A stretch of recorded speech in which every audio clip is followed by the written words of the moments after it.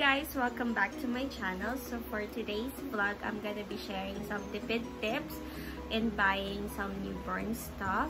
So ito yung mga hacks ko na ginamit sa pagbibili ng mga um, gamit ko for my incoming baby. So if you're interested, if you're a first time mom, or if you're pregnant like me, please keep on watching.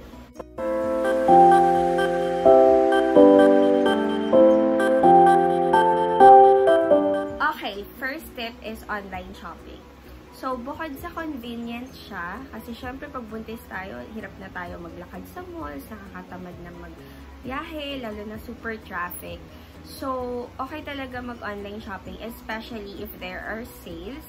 So, ayun, ang tip ko is if um, mag-search kayo kung merong mga Lazada sale or Shopee sale or any other online shops na sale kasi marami din naman kayong makukuha doon. Like ako last time, meron akong in-upload na video dun sa mga nakuha kong mga items sa Lazada sale, saka um, nagkaroon kasi yung, di ba nagkaroon ng 99 sale din sa Shopee, saka sa Lazada. Tapos meron din si Lazada na baby fair na sale. So, ang dami ko ding nakuha doon ng mga items na naka um, 50% off or 30% off in-upload ko siya actually din sa other video ko. So, if you wanna check that out, I'm gonna put the link on the description box. So, ayun, marami naman ako nakuha doon. Um, nakakuha ko doon ng iba't ibang mga items like bottles, ganyan, na nakasale sila. So, I suggest na um, mag-search din kayo kung meron pang magsisale this year or if next year, yung baby nyo lalabas, baka meron pang mag-sale, Christmas sale, ganyan. So, I suggest mag-search din kayo ng mga sale online. So, ayun. Okay. um, wala, meron pala akong um, recent na nabili sa Lazada. Ito siya. It's a, it's an organizer. So, pinili ko lang siya sa Lazada recently kasi naisip ko, pag sa baby bag, gusto ko organize na siya. Kasi syempre, pag nasa ospital tayo, for sure, yung mga baby bag natin, tayo pa rin naman yung mag-aayos nun. So, para maiwasan na yung tanong ng tanong yung mga asawa natin, kung nasan yung mga gamit ng baby, nasan yung gamit mo. So, naisip ko, bumili ako nito sa Lazada. Double purpose naman siya. Pwede siya sa, uh, actually, purpose na talaga is for luggage. Kasi organizer siya ng luggage. So, pwede nyo rin siyang gawin, um, pwede rin to para sa baby bag. So, yung baby bag nyo, lagay nyo rin to. Tapos, may mga iba't ibang organizer dyan. Yan. So, para naka-organize na yung mga gamit ni baby, yung mga pang receiving stuff niya, ganyan, yung mga gamit mo. Para pag nagsabi ka sa asawa mo ng gusto mong ng gamit na kailangan mo, di ba? Hindi na siya maghahalong patos. Hindi na, tayo, hindi na kayo mahirapan parehas. So, yun. I highly recommend to buy an organizer bag. I only bought this at Lazada for 250 pesos. So, super mura na niya. Yan, yan siya. And okay naman yung quality niya. Manipis pero okay lang. Okay, so tip number two is to search for baby expos. Kasi maraming ganun for the whole year. Um, ako recently, I went to a baby expo at SM Mega Mall. And marami din ako mga good finds na nakita doon. So, ayun, tip ko is to um, to attend Baby Expo or um, Mommy Expo kasi marami din kayong makukuha na good finds doon. So, at hindi lang yon kasi kapag nagpunta kayo doon, sometimes, pag magaganda yung mga um, mga nagtitinda or kapag madami sila, meron silang mga loot bags na ibibigay dun sa mga tao. Tapos, um, ang maganda pa dun, pag nag-sign up ka sa sa website nila, magka, minsan free.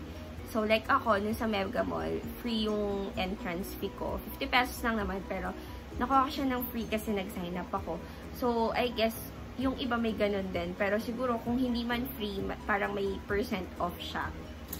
Tapos yun, bukod sa mga loot bag, yung akin, ang nakuha ko dun sa recent Mega Mall Expo na pinuntahan ko, is mga ganito siya. Wait, I'm gonna show you guys. So, free siya. Nivea, yan. So, may free ako na Nivea Baby Moisturizing Lotion. May free din ako, ayan, dalawa pala yung moisturizing lotion ko. Tapos, may baby head to toe wash. And another one. So, may dalawang head to toe wash. Tapos, may dalawang moisturizing lotion. So, free siya din sa Expo. Though wala silang loot bag, pero eto, may free sila na ganito, which is okay lang. At least may free, ba diba? Tapos, I'm gonna show you pala yung mga stuff na nabili ko doon on sale. So, okay. Eto, I got this, um, it's breast pads. Yan. I got two. Kasi, it's uh, 100 pesos. Dalawa na siya. So, 50 pesos each. Yan. Madami siya. So, meron siyang 12 disposable uh, disposable breast pads each each pack. So yan. And then bumili din ako nitong baby wipes. Baby first na wipes. So that 3 for 100 siya. Tapos meron na rin siyang mga freebies na baby wash. Tatlo. Yeah. Tatlo siya. Ito lang napakita tatlo. So, tatlong wipes, 100 pesos. Trinay ko lang tong wipes na to. Kasi, wala lang. Mura lang siya. Eh. So, trinay ko. Tapos, nakakuha din ako doon ng detergent. 100 pesos lang tong detergent na to. For the baby. May isa pa akong nabili to. Okay, this one. This one. Smart Steps na um, baby bottle and dishwashing liquid. Nakuha ko siya for 100 pesos also. Yan. So, 200 pesos to. And then, marami din dong mga, um, mga onesies for baby. So, ito yung mga nakuha ko. Super cute. Medyo nag-haul ako kasi these are only 100 100 pesos to, to 150 pesos each. So, ayan the first daddy's girl nakalagay. Ayan. This one. This one. Diba? Super dami. Super cute. Okay, this one favorite ko din to. Wait.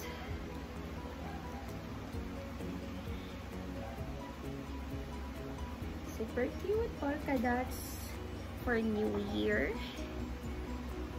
Then this one. Yan, super cute. Mga onesies.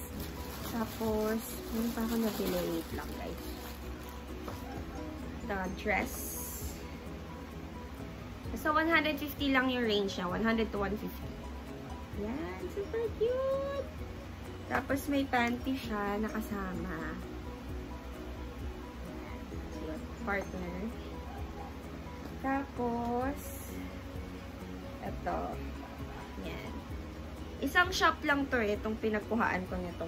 100 to 150 pesos. Isang shop lang siya. Tapos, ayan, meron pang bolero na isang pair dyan. Tapos ito, ibang shop to, pero doon din. Ayan, pang Christmas. Actually, meron tong pair na jeans eh, na pink din. Pero hindi ko alam siguro nasa, ano na, nilabhan na. something, wala pa siya dito.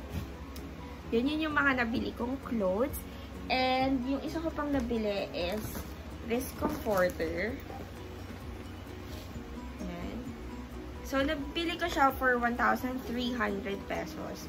Pero, alam ko, mahal siya kung iisipin mo kasi sa department store, di ba, may mga nabibili na tig 800, 900, less than 1,000 pesos na comforter. Pero ito kasi, ano siya, mm, maganda yung tela niya, super malambot and makapal. Compared dun sa mga nabibili sa department store. Kasi, bumili na ako nun before. Uh, manipis, mas manipis siya dito pair ko. Ito, super malambot siya.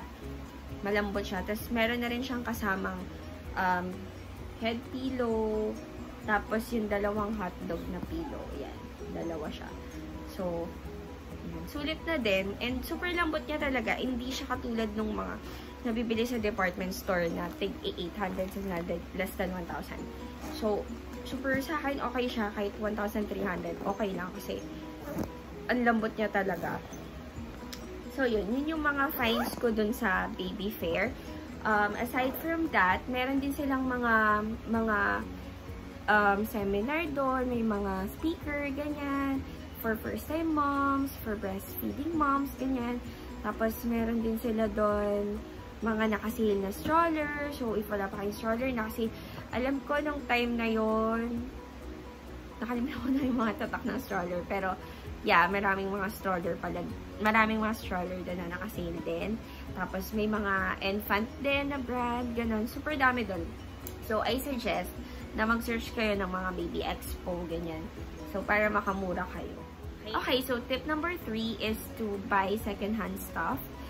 Ito optional lang to kasi kung maselan kayo, it's okay. But if not, kung katulad ko kayo na hindi ako maselan kasi even, even before, nag-uukay-ukay talaga ako. Like, na-enjoy ko siya sa Baguio, ganyan, yung mga ukay-ukay doon.